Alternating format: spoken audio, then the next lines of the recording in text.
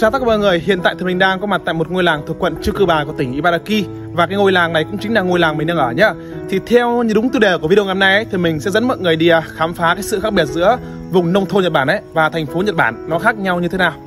Thì những thước phim về vùng nông thôn Nhật Bản ngày nay ấy, thì mình cũng đã từng quay và giới thiệu cho mọi người rất nhiều lần ở trên à, kênh youtube của mình rồi. Thì không chỉ những cái à, ngày thường đâu mà kể cả những ngày nghỉ cuối tuần đây cũng vắng tanh vắng gắt nhá hầu như mọi người ra đường ấy mọi người sẽ không thấy một bóng người nào cả. Mình thấy cái thói quen của người Nhật ấy là không à, chỉ những ngày nghỉ đâu mà kể cả là họ đi làm về ấy, họ cũng đóng sập cửa nhá và họ rất ít khi ra ngoài luôn. Ra ngoài đường cùng lắm là nghe tiếng chim hót tiếng lá rơi thôi. Đấy đây là một cái điều à, rất đặc trưng ở vùng thôn quê Nhật Bản rồi. Cái quang cảnh à, bình yên và tĩnh lặng nhìn cũng khá là đẹp luôn thì khi mà mọi người sống ở các vùng nông thôn bên Nhật Bản đây ấy thì mọi người sẽ rất ít khi à, gặp người Nhật đi bộ ra ngoài đường nhá. Cùng lắm là tầm chiều tối ấy, thì mọi người có thể gặp các ông cụ bà cụ à, đi chạy thể dục hoặc là dắt chó đi dạo thôi. Và thứ hai nữa là mình cũng đã từng giới thiệu mọi người ấy là ở vùng thôn quê Nhật Bản đây thì đa số toàn người cao tuổi là chính. Tại sao lại như vậy ấy? Thì ở bên Nhật Bản ấy thì thường thường là con cái của họ ấy sau khi mà tốt nghiệp cấp ba xong thì là họ sẽ sống tách riêng với mẹ nhé, sống tách riêng với gia đình. Họ sẽ lên trên phố học cao lên này, họ sẽ lên trên đó kiếm tiền, họ lập nghiệp rồi là họ có thể là xây nhà họ kết hôn trên đấy. Và một điều đặc biệt đấy là khi họ sống tách riêng rồi thì họ cũng á, ít khi về quê nhá. Nên là để à, thường thường ấy ở quê mà mọi người gặp được một cái người à, trẻ tuổi cực kỳ hiếm luôn. Nếu mà nói bảo ở vùng thôn quê Nhật Bản ngày nay không có người trẻ tuổi thì là không phải. Thực ra là vẫn có người trẻ tuổi ấy nhưng mà những cái người trẻ tuổi mình gặp ấy thường thường là những cái cặp vợ chồng đã có con cái rồi. Họ có thể là họ từ à, nơi khác họ di chuyển đến đây họ thuê nhà cửa hoặc là họ xây nhà ở đây nhá. Còn những cái bạn như kiểu là thanh niên bạn nam bạn nữ ấy, những cái bạn trẻ tuổi ấy, mà để gặp ở các vùng thôn quê này cực kỳ khó. Bởi vì là họ lên trên phố hết rồi. Thi thoảng mình đi quay nông thôn ấy cũng có nhiều bạn góp ý bảo là anh anh đi quay à, trai nhật hay là gái nhật ở vùng quê đi. Nhưng mà đâu có đâu họ lên phố ở hết rồi. Nên ở dưới quê này mà để gặp được những cái bạn đấy hiếm lắm. Chỉ khi nào mà các bạn đấy về quê thăm bố mẹ hoặc là thăm ông bà ấy, thì à, may ra gặp thôi. Nhưng mà thực ra là mình đến đây khoảng độ 2 năm nay rồi nhưng mà mình chưa gặp bất kỳ một bạn thanh niên nào cả đa số là những em học sinh nhỏ này hàng ngày là bố mẹ đưa đón đi học. Xong là họ về đến nhà ấy, thì họ cũng ở sụp trong nhà luôn. Đâu thấy họ đi ra ngoài đường như bên Việt Nam mình đâu. Ra ngoài đường như bên Việt Nam mình ấy có thể là thấy xe đạp xe đạp điện xe máy hoặc là các em nhỏ các bạn thanh niên ấy đi đường nói chuyện ầm lên. Bên Nhật hiếm lắm cực kỳ hiếm luôn. Lúc nào cũng cảm giác nó yên tĩnh như này có một điều và có một sự thật mình muốn chia sẻ cho mọi người ấy, mà cái điều này có thể là chỉ xảy ra ở vùng à, thôn quê Nhật Bản thôi trên thành phố có thể là không có được. Thì mình sinh sống ở các vùng thôn quê Nhật Bản đến thời điểm hiện tại là được uh, gần 5 năm rồi. Thì hầu như là mình chưa bao giờ nghe thấy một tiếng loa đài một tiếng ồn một tiếng tivi của hàng xóm phát ra bên ngoài nhé bởi vì bên Nhật đây ấy, thì người Nhật người ta rất giữ cái quyền riêng tư cho nhau những cái âm thanh no đài ấy, người ta chỉ bật đủ nghe thôi. Không bao giờ người ta bật gọi chung là hát karaoke ở Mỹ hay là mở nhạc to nhạc sàn remix để ra để cho hàng xóm của người ta nghe người ta phàn nàn cả. Bởi vì nếu mọi người ở bên Nhật đấy mà mọi người mở tiếng nhạc to quá tiếng loa to quá ấy, là bên hàng xóm ấy người ta cũng phàn nàn. Mà người ta nhắc nhở mọi người không được ấy là người ta sẽ gọi thẳng cảnh sát luôn. Gọi thẳng cảnh sát ấy thì tất nhiên là cảnh sát trong phạm vi khoảng độ 10 15 20 phút đấy nếu mà gần đồn ấy là người ta sẽ đến đó, ngay nhà mọi người và người ta nhắc nhở nhá một lần, hai lần không sao, nhưng mà nếu lần thứ ba, lần thứ tư ấy, thì có thể là người ta sẽ có các cái hình thức để có thể là phạt mọi người gì đó. Và hầu như là mình thấy những cái căn nhà ở vùng à, thôn quê Nhật Bản đây, thì đa số là toàn nhà một tầng, hai tầng là chính nhá. Không có nhà là ba tầng cả. Những cái căn nhà ba tầng rất là hiếm mà mình cũng à, hầu như là không gặp bao giờ cả. Lên trên phố thì nó là một cái sự khác biệt hoàn toàn. Bởi vì những cái căn nhà mình chia sẻ cho mọi người nhà người Nhật người ta làm bằng gỗ mà, dựng lên bằng gỗ hoàn toàn và các cái bức tường của họ ấy thì là họ ốp các vật liệu nhẹ nhá. Mình sẽ để hiển thị cho mọi người xem đây. Là khi người Nhật, người ta dựng nhà thì người ta làm như nào? Người ta sẽ dựng một cái khung bằng gỗ lên. Xong khi đó là người ta sẽ ốp các vật liệu nhẹ rồi là ốp ngói bên trên thôi thế là thành một căn nhà. Bên Nhật thì hàng năm là cũng nhiều thiên tai, động đất các thứ ấy. Người ta xây nhà bằng à, những cái vật liệu nhẹ đây. Đến khi mà không may xảy ra thảm họa thì nó sẽ giảm bớt cái thiệt hại về người. Như bên Việt Nam mình thì là cứ bê tông xi măng cốt thép chắc lích luôn cái khu chỗ mình ấy thì cũng là cái khu à, nhà mới nhá. Rất nhiều những cái căn nhà hiện đại mọc lên đây. Dây điện, cột điện thì cũng à, không khác gì bên Việt Nam mình cả. Đây, mọi người đang đi học về đây. Đây là học sinh cấp 3 mọi người nhá. Dòng xe đạp rồi đi bộ, đa số mình thấy đi bộ thôi.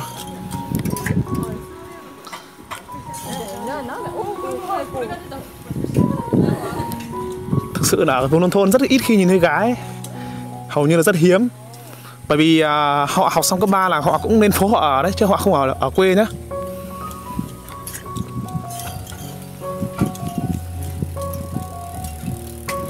Đây, xung quanh đằng này có một cái ký túc này. À, đây học sinh học về nhá đi bộ. Họ kiểu học mặc đồng phục ấy. Ok thì ở vùng thôn quê Nhật Bản ấy thì mình đã dẫn mọi người đi à, dạo và đi à, ngắm một chút cảnh xung quanh rồi. Bây giờ thì mình sẽ dẫn mọi người à, lên trên phố nhá để cho mọi người thấy được cái sự khác biệt giữa vùng nông thôn Nhật Bản và thành phố Nhật Bản nhé. Mọi người đi cùng mình nhé. Chào tất cả mọi người, sau một thời gian di chuyển ấy, thì hiện tại thì mình đang có mặt tại thành phố Tsukuba của tỉnh Ibaraki. Thì ngay bây giờ mình sẽ dẫn mọi người đi à, dạo phố và khám phá sự khác biệt giữa thành phố và nông thôn Nhật Bản nhé. Chỉ cần lên trên phố cái là mình thấy à, nhà cao tầng này, xe cộ, đường xá dòng người rất là đông vui nhá mình sẽ dẫn mọi người đi à, dạo xung quanh này thời hiện tại thì mình à, đang có mặt tại nhà ga Chư Cư Bà của thành phố Chư Cư Bà nhé. Một điều đặc biệt đấy là hệ thống nhà ga trên đây thì người ta đào ngầm 100% mọi người nhé. Ở trên đường đây thì là ô tô, xe máy, xe đạp chạy và hệ thống tàu điện của họ ấy là họ đào ngầm 100% luôn. Chư Cư Bà Station đây. Và không chỉ có cửa này đâu mà còn rất nhiều cái cửa khác. Mỗi một cửa ấy thì sẽ đi một line khác nhau và sẽ đi à, một chuyến tàu khác nhau nhé bên kia một line này đằng bên kia một line nữa này. Đấy. Hệ thống đường tàu ở bên Nhật rất là hiện đại. Mọi người chỉ cần sang đường phía bên kia thôi. Đấy. Đi uh, vạch cái đường sang bên kia là mọi người sẽ bắt được sang một cái line khác một cái chuyến tàu để đi nơi khác nhá. Ở phía đằng trước mặt mình đang quay cho mọi người xem kia có một cái ờ, thang máy nhá. Những cái bạn nào muốn xuống nhà ga ấy mà có vali hành lý nặng ấy mọi người có thể dùng ờ, thang máy này đi này còn ngoài ra những ai mà muốn đi thang cuốn ấy thì sẽ sang các cái khoan như kia nhé có rất nhiều cửa rất nhiều lối để mọi người có thể xuống nhé mỗi một khoang thì sẽ xuống một cái lai tàu khác nhau. Quay cho mọi người xem à, một chút xung quanh à, nhà ga Chư Bà nhé mọi người cũng có thể nhìn thấy này. Ở cái ra bên ngoài đây là ba cái đường dây ba cái cung đường dành cho xe buýt chạy nhé xe buýt ở đây ấy, thì sẽ đón khách từ à, các cái quận khác các thành phố khác đến nhà ga. Và sau đó sẽ đón được khách từ nhà ga đi đến các cái thành phố, các cái quận huyện khác nhé. Và ở giữa kia chính là hệ thống á, bãi đỗ xe dành cho taxi này. Taxi và xe buýt ấy thì từ sáng sớm bắt đầu người ta chạy rồi và người ta chạy à, đến đêm luôn nhá. Mọi người đến đây cảm giác lúc nào cũng có xe buýt taxi luôn.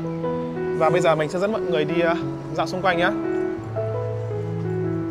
Và có một điều đặc biệt đấy là khi người Nhật người ta đi à, bắt tàu điện hoặc xe buýt ấy mà số lượng người đông ấy thì người ta sẽ xếp hàng nhá người ta đứng chờ lên lần lượt một nói về cái việc xếp hàng ấy nó chính là một cái văn hóa của người Nhật rồi dẫn mọi người đi à, dạo xung quanh. Đấy. Các cái khoang mọi người đi à, xuống thang máy hoặc là đi lên nhá. Có một cái thang bộ ở giữa này một thang xuống và một thang lên. Thang đằng giữa là thang bộ. Nếu mà hai cái bên mới nó chật kín người rồi ấy, ai muốn đi nhanh thì có thể đi thang bộ nhá. Ngoài thành phố thì là xe cộ thôi. Đấy. Mọi người chỉ lên trên à, thành phố mọi người mới ngắm được cái số lượng người đông đúc như này. Và có một điều đặc biệt đấy là những cái người người ta sống trên thành phố đây thì ngay kể cả là những cái bạn học sinh cấp 2, cấp 3 hàng ngày đi học ấy thì họ cũng đều bắt xe buýt đến đây để bắt tàu điện đi à, học. Rồi là những người dân ấy thì người ta cũng hàng ngày là bắt xe buýt đến nhà ga để bắt tàu đi làm nhá. Tầm chiều về ấy, thì người ta lại à, bắt tàu về nhà ga xong họ sẽ lại bắt xe buýt để về nhà họ nhá. Trên phố đây thì à, người Nhật người ta thường sử dụng các cái phương tiện công cộng là chính. Hôm nay mình đi lên đây thì cũng hơi muộn đấy nên là cũng ít khi gặp các bạn học sinh. Đặc biệt một điều ấy là các cái công viên bên Nhật, người ta trồng à, rất nhiều các cái cây cảnh và các cây hoa nhé hai em học sinh à, phía bên trên kia là học sinh cấp 2 nhìn vẫn bé nếu mọi người gặp các em học sinh cấp 3 mọi người sẽ thấy cái sự khác biệt rõ ràng. Họ nhìn lớn và trưởng thành hẳn luôn. Phía đằng trước, hiện tại là người ta cũng đang tổ chức một cái gì đó này. Đấy, cảm giác lên trên phố vui lắm mọi người ạ. Dòng người à, đông đúc tấp lập xung quanh, nhiều quán xá thì đây cũng chỉ là một số các thành phố cơ bản của Nhật Bản thôi. Còn nếu mọi người lên các thành phố lớn như kiểu là Tokyo, Nagoya rồi là các thành phố lớn khác ấy thì mọi người sẽ thấy một cái sự khác biệt hoàn toàn luôn. Không biết hôm nay ở khu này ấy, người ta tổ chức cái lễ hội ăn uống ca nhạc gì ấy mình thấy là nhạc ầm ầm luôn. Khu này cũng có rất nhiều các cái quán ăn nào. Mình sẽ rẽ thử vào xem có gì không nào. Khá là đông người. Và xung quanh là rất nhiều các cái hệ thống à, siêu thị. Rồi là các cái trung tâm thương mại nhé bên đây thì hầu như à, đa số là các cái quán ăn đây. Nhưng mà mình nghĩ thì thời điểm hiện tại trên đây thì đa số toàn người Nhật là chính mọi người ạ người Nhật. Đây cảm giác y kiểu là một cái quán ăn hay là một cái quán đồ uống này. Ở đây thì mọi người có thể ăn nhậu uống bia rồi uống nước ngọt nhá. Lên phố cảm giác là không quen biết ai ấy, nhưng mà nhìn thấy dòng người đông đúc là mình thấy vui rồi. Đấy, các cái lễ hội bên Nhật ấy thì người ta thường hay tổ chức ở cái khu này đây. Lễ hội của quận Chư Bà nhá, xung quanh rất nhiều các quán ăn luôn. Mình cũng đi kiếm xung quanh xem có cái quán gì đó, mình à, sẽ vào mình mua một chút đồ mình ăn. Đây là những cái dạp của những cái quán người ta dựng lên nhá, để cho khách đến mua đồ, xong là vào trong dạp để ăn luôn. Đây là quán thịt nướng này. Quán bên đây là cũng gà chiên này.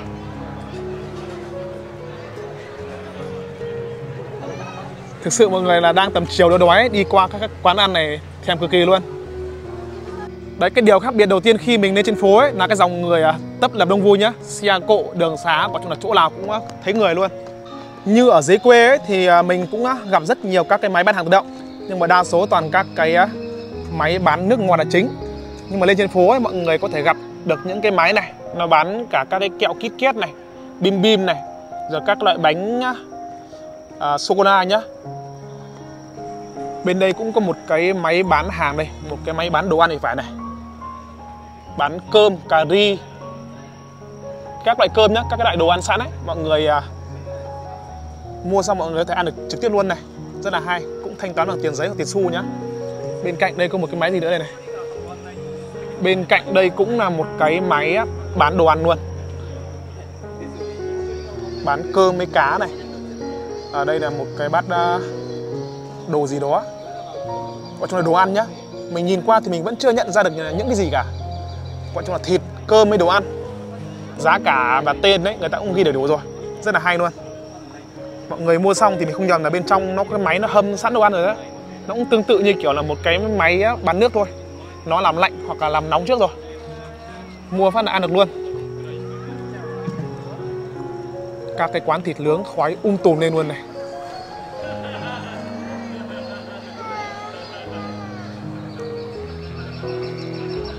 Đấy, khi mọi người đi à, lễ hội bên Nhật đấy thì mọi người cũng sẽ gặp các cái quán như này nhá.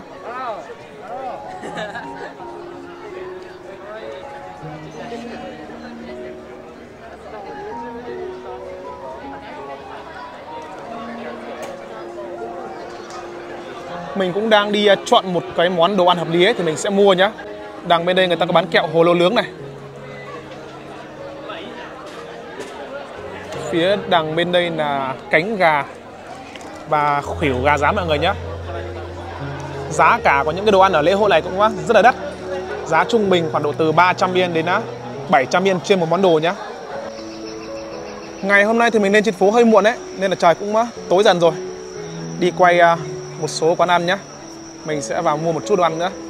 Cái quán bên đây là chuyên bán à, khoai tây chiên này. Chuyên các loại đồ chiên nhá, rồi là các loại bánh của nhật đây. Mình thì mình không am hiểu về ẩm thực của nhật cho lắm ấy. Mình cũng chỉ quay cho mọi người xem hình ảnh thôi. Bây giờ cũng đang là tầm tối nữa, đi quay video thì nó cũng à, không được nét. Tất cả mọi người đến ấy thì sẽ đứng à, xếp hàng theo thứ tự để vào trong quán nhá. Quán bên cạnh đây mình cũng thấy bán đồ nướng, đồ chiên đây mình cứ đi thấy cái quán nào hợp lý là mình mua nhá. Bên này là chuyên bán các loại ramen này. Các loại ramen cũng có gà chiên luôn.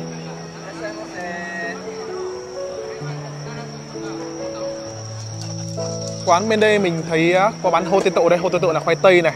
Tất cả là tên giá tiền ghi đều đủ nhá. Bên đây có món mực đây ica này. Phía bên đây là có dạng à, xúc xích à, takoyaki nhá. Rồi là mì xào đây đồ rất là nhiều. Mình đang tính là đi à, mua một số món đồ đây nhá. Đây có mì xào này, đây là bạch tuộc này và bên đây là mực nhá. Thưa sẽ, cô đây hít tô trưởng này cho thầy. Thầy mình sẽ mua một hộp à, bạch tuộc này nhé mọi người nhé một hộp bạch tuộc đây trị giá là 500 yên mọi người nhé 500 yên tương đương với cỡ khoảng độ gần trăm nghìn tiền Việt Nam. Tất cả những cái món đồ mình quay đây ấy, đều đồng giá 500 yên nhá. Mì xào này takoyaki này hay là xúc xích. Đồng giá 500 yên. Sang bên đây thì đến con à, mực với cả hô tế tộ là khoai tây chiên nhá, thì là giá sẽ đắt hơn 100 yên. Là cỡ khoảng độ à, 600 yên trên à, một món đồ. Và chung là người Nhật, tầm chiều này người ta đi ăn uống đông lắm. Mình mua được hộp đồ ăn rồi ấy, nhưng mà chưa có đồ uống ấy, thì mình sẽ sang cái gian hàng bán đồ uống mình mua luôn nhá. Nói về gian đồ uống ấy, thì mình thấy khu này toàn bia là chính mọi người ạ kiểu người Nhật người ta mua đồ ăn à, xong uống bia. Người ta nhậu luôn. Mình cũng đang tính mua ít đồ uống mà không biết là có những cái loại nước gì đây. Thấy toàn bán bia là chính thôi.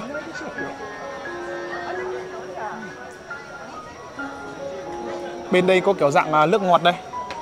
Có rất nhiều loại táo này, nước lọc, nước trà nhá. Đây là các loại bia không độ của Nhật đây. すみません。一個お願いします。これ一個一個。はい、わかりました。はい。チケットお持ちの方どうぞ。はい、どうぞ。マスターズ一。はい。いいいくらですか。いくらですか。150円です。Mình mua thêm một chai Fanta giá là 150 yên nhá. Dòng người vẫn đang đứng xếp hàng để vào chờ mua đồ ăn đồ uống đây. Mình sẽ đi kiếm một cái chỗ nào đó mình ngồi ăn nhé bàn ghế người Nhật người ta cũng ngồi hết rồi. Mọi người ăn uống xong ấy thì mọi người có thể đi à, xung quanh à, thành phố, mọi người đi à, các trung tâm thương mại mua sắm nhá. các cái quán ăn dòng người vẫn tấp lập đông đúc. Xếp hàng để vào mua đồ ăn đây. Vừa mua được chai Fanta lạnh này. Đây là hộp takoyaki nhá, hộp bạch tuộc nướng. Bên trong được tổng cộng 6 miếng đây. Cảm giác bây giờ là trời cũng tối rồi ấy. Những cái video của mình nó cũng á, giảm chất lượng về ánh sáng ấy rồi. Nhìn hình nó cũng mờ rồi nhá. Mình sẽ ngồi à, tại ghế để ăn. Mà tất cả mọi người nhá Căn bản là buổi trưa mình cũng á, chưa ăn uống gì ấy. Đến tầm chiều tối đi qua này Gian hàng này đói không chịu được phải ăn thôi. Mà mọi người.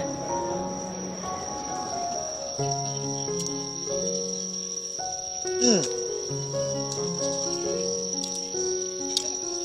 Cái món takoyaki bạch tuộc nướng đây ấy cũng là một cái món rất là ngon nhá.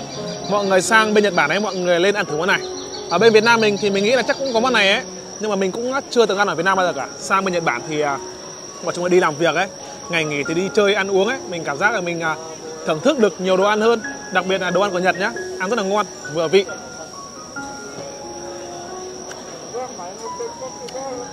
Bên trong cũng có rất nhiều các nhân, mọi người nhá. Đặc biệt là bên trong mỗi miếng này sẽ có một miếng bạch tuộc nho nhỏ nhá ăn dai dai giòn giòn rất là ngon.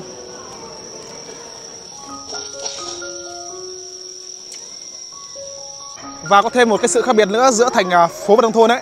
Khi mọi người lên trên phố ấy, mọi người à, nói to thì có thể là người dân người ta không để ý. Nhưng ở quê mọi người đi đường mà mọi người nói to ồn ào ấy là người dân người ta để ý. Có khi là người ta quát mọi người luôn. Nhưng mà lên trên phố đây thì à, đặc biệt một điều là mình đi quay video rất thoải mái. Mình nói to tiếng hay các thứ là người dân người ta cũng không quan tâm luôn. Bởi vì là bản thân người ta cũng nói to à, nên là người ta chẳng cấm gì được mình cả mặc dù là mình là người nước ngoài nhé khi mọi người dưới quê ấy, thì mọi người thấy người Nhật người ta sử dụng phương tiện chính là ô tô mà khi lên phố đây thì là ô tô xe máy xe đạp cực kỳ nhiều luôn. Trên đây xe đạp nhiều đến nỗi ấy, là không chỉ là cái lán để xe ở dưới tầng hầm đâu mà mọi người lên trên à, tầng này cũng có chỗ để xe luôn nhé để xe ở mọi chỗ mọi nơi luôn. Và phía đằng trước mình đang quay cho mọi người xem đây xung quanh là các cái khu à, trung tâm mua sắm đồ điện tử, đồ ăn, đồ uống. Tất cả mọi thứ luôn, quần áo, giày dép. Đây chính là cái bãi đậu xe đây. Thì hầu như là mọi người đậu xe máy, xe đạp ô tô trên thành phố ấy Thì tất cả đều phải trả phí mọi người nhé Ở đằng kia có một cái máy để thu tiền đây Đấy. Mọi người để vào thì à, những cái khu này thì nó an toàn hơn. Để vào phát là hệ thống nó tự động nó khóa bánh vào. Xong khi mọi người muốn lấy được xe ra ấy, thì mọi người phải nhét tiền xua trong kia Đấy. Nhét tiền vào thì máy nó nhận đấy Thì mọi người mới lấy được xe ra để mọi người đi. Thường thường là ở những cái thành phố nhỏ thì không sao, nhưng mà nếu mà khi mọi người lên các cái thành phố lớn phải gọi là cực kỳ lớn ấy, để mọi người tìm được một cái chỗ đậu xe đạp, xe máy hoặc là ô tô, rất là hiếm luôn. Nhiều lúc mình đi à, xe máy lên trên phố mà mình không có chỗ để để mà kiếm được cái chỗ để để thì nó rất xa cái khu mình à, muốn vui chơi giải trí, mình muốn đi ấy. Nó cũng hơi bất tiện một chút hầu như là các cái tòa nhà cao như này các trung tâm siêu thị điện máy thì à, người ta sẽ có hệ thống tầng hầm. Mọi người có thể để xe ở dưới tầng hầm hoặc là để trên à, nóc nhà nhé rất nhiều các cái à, khu trung tâm thương mại ấy, là người ta sẽ làm cái hệ thống bãi đậu xe trên nóc nhà. Thực ra là cũng gần 5 năm nay mình không về Việt Nam rồi. Mình thấy bảo ở Việt Nam mình thời điểm hiện tại ấy, thì đất nước mình cũng thay đổi khá là nhiều rồi. Mình sang bên Nhật ở 5 năm nay ấy, thì mình rất ít khi mà tìm hiểu được những cái thông tin ở bên Việt Nam mình. Còn chúng cũng chỉ được nghe mọi người à, kể qua thôi Cũng không hiểu rõ cho lắm. Nên là có đôi lúc là những cái thứ bên Việt Nam mình có rồi Bên Nhật Bản cũng đang có Mình cũng không thể biết được. Nên là có lúc mình à, review có thể là Mọi người lại bảo thằng này lâu không về Việt Nam là không biết cái gì cả. Xe buýt taxi ở trong nhà ga là đón khách liên tục nhé Người đến, người về liên tục. Ở cái khu này thì à, được cái nhà ga là cảm giác lúc nào cũng đông đúc nhá. Xe nó chạy đến đêm luôn. Ở trên các thành phố như kiểu là Tokyo các kiểu ấy Thì à, hệ thống tàu điện các thứ là người ta chạy đến khoảng độ 2 à, giờ 2 rưỡi sáng. Nhưng mà ở các thành phố ở trên quận đấy thì người ta chạy đến khoảng độ 10, 11 đến 12 giờ đêm thôi. Những cái bạn nào sang bên Nhật đấy mà muốn ngắm trai xinh gái đẹp ấy thì mọi người phải lên trên phố nhá còn mọi người ở dưới quê thì có mà ở đến chục năm cũng không gặp ai đâu. Đấy là một cái điều hiển nhiên nhé qua những cái lời giải thích của mình ấy bởi vì là giới trẻ họ không sống ở quê. Họ lên trên phố họ mới phát triển được bản thân được. Còn cứ ở dưới quê thì uh, toàn gặp các cụ là chính thôi. Đấy chiều đến là gặp các cụ dắt chó đi chơi đi dạo đi tập thể dục. Còn lên trên phố đây nó mới đông vui tấp lập thì uh, giới trẻ mới tập trung ở trên đây nhiều mình đang tính là sẽ dẫn mọi người à, đi xuống dưới nhà ga. Xem nó như thế nào nhé.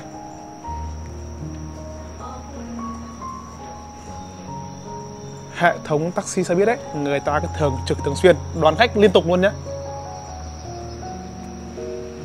Bên này một điều đặc biệt đấy là xe taxi hay là xe buýt đấy không có chuyện là chen lấn xô đẩy đâu. Tất cả ai đến trước thì được đứng trước mà ai đến sau đứng sau nhé. Chứ không như mấy cái bến à, xe buýt mỹ đình à, bên Việt Nam mình đâu, Mỹ Đình với cả mấy cái bến xe khác, giáp bát các kiểu đấy. Xe buýt với taxi có khi là tranh nhau, đánh nhau luôn. Bên Nhật là không bao giờ có chuyện đấy. Mình không phải mình chê gì Việt Nam mình đâu, nhưng mà cái điều đấy là cái điều sự thật nhá. Bên Nhật là cái gì người ta cũng theo hàng lối hết. Không bao giờ cái kiểu lộn xộn gì cả. Và ngay bây giờ mình sẽ dẫn mọi người xuống phía bên dưới tầng hầm nhà ga Chư Cư Bà nhá. Mình xuống đây mình đi khoảng độ 5 đến 7 nhà ga đâu khoảng độ 3 nhà ga mọi người ba đến bốn nhà ga là về đến cái ga Midori của mình nhé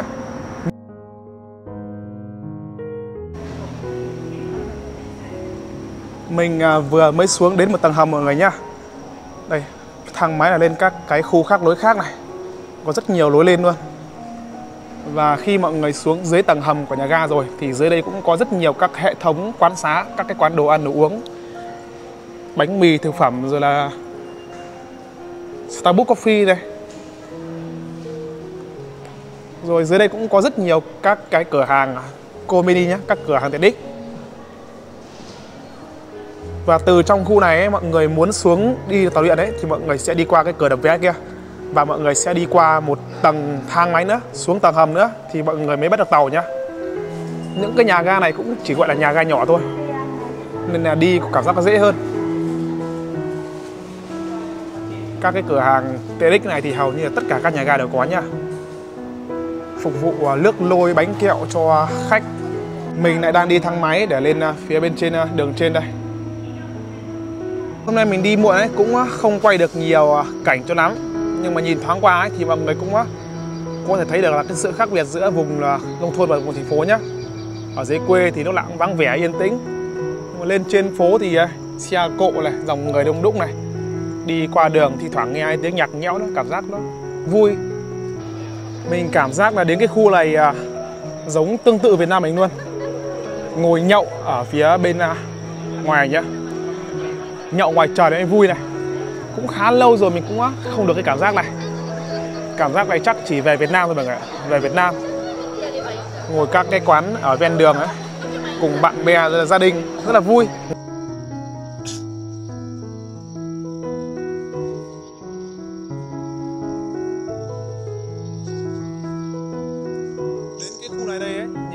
Rác người nhật đông vui mà mình lại nhớ đến cái cảnh à, hồi xưa ở Việt Nam. Ở Việt Nam thì thoảng ăn uống cùng à, gia đình các thứ hoặc là thi thoảng đi chơi bạn bè ấy là mình cũng có những cái cảnh như này. Ngồi ăn uống tán ngẫu trò chuyện. Chứ mình sang bên Nhật đây mình đi đâu toàn đi một mình. Anh em thì à, gọi chúng là cũng mỗi người một giờ giấc. Một ngày làm việc khác nhau chẳng ai giống ai cả. Mà thực sự là mình sang bên đây ấy, thì mình cũng công việc là chính ấy mình cũng ít nhậu nhạt đi nhạt thì nó cũng không được tác dụng gì mà nó cũng ảnh hưởng sức khỏe nên là mình cũng hạn chế cực kỳ hạn chế luôn. Những cái khu này ấy, thường thường là người ta sẽ tổ chức đến đêm luôn nhá. À, Ăn uống đến đêm luôn. Cảm giác như kiểu là một cái khu nhậu của người ta.